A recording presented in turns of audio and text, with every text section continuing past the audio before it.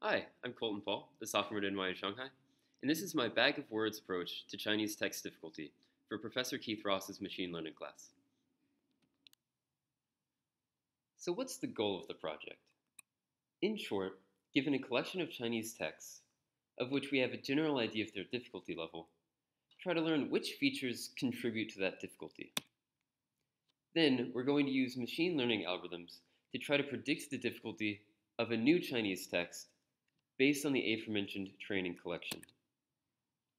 Though ultimately, more refined categories would be nicer, for this project I'm only going to sort them into three categories, elementary, intermediate, and advanced. But an important question here is, why bother? Almost everyone has or is trying to learn a new language, and new apps like Duolingo, Babbel, or Rosetta Stone are useful for learning to speak and write simple sentences but as a language learner, I found finding practice readings to improve reading comprehension very challenging. They're either too difficult or too easy. And especially for beginners, easy books tend to be so short that it's hard to continue to supply the demand for new readings. Instead, if you could take collections of new texts, newspapers, etc., and have them labeled by difficulty for you, it would be much easier to meet this demand. All right, so hopping right into it, let's take a look at this collection that I've mentioned a couple times. This was actually the hardest part of the project for me because labeled difficulty data doesn't quite exist. In other words, there are no explicitly labeled texts made to serve as this kind of data.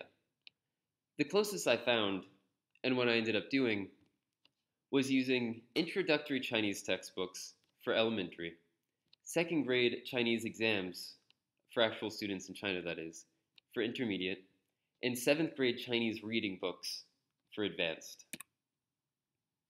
So, what do I do with the data?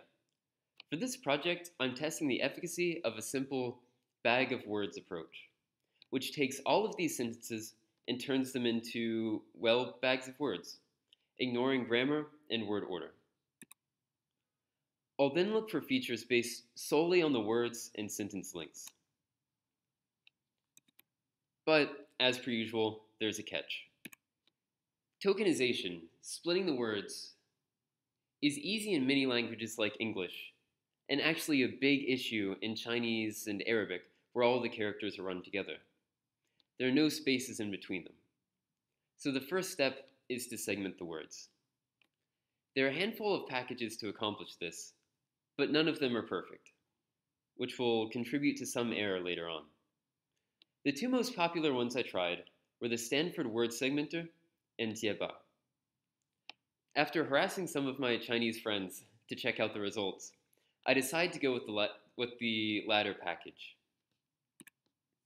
So just as a very brief idea of how it works, Jieba takes a string of Chinese characters and breaks it into every possible combination of words. It then weighs the probability of every option and chooses the most probable. For example, here we have two poorly written sentences, and we separate them such that both contain completely legitimate words. But based on word frequency lists, it's more likely to have the second option than the first, so Jieba chooses that one. So choosing this package also seems to be very in the spirit of my project. Because as you can see, this is also a kind of bag of word approach to tokenization. Now with these bags of words, the most telling features that I could find in regard to their difficulty were the following. Average HSK value of all the words in the passage. HSK referring to the official Chinese test for Chinese fluency. So the HSK value would be based on how advanced the test thinks these words are.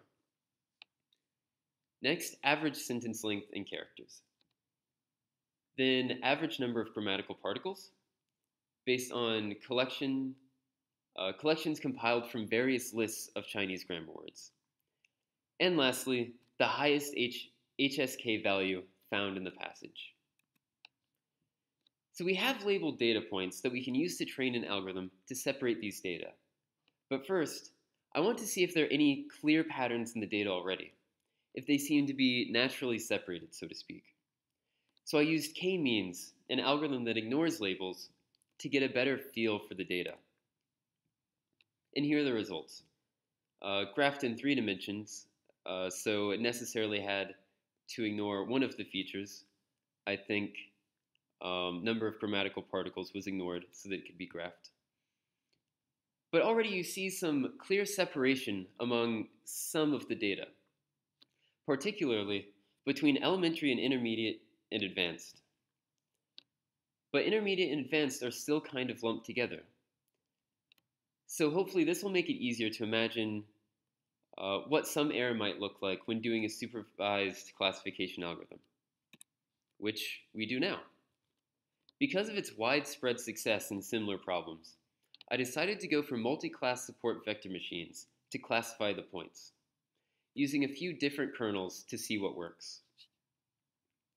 Because of the relatively small sample size, I used cross-validation to test the algorithm and took the average results of 30 trials.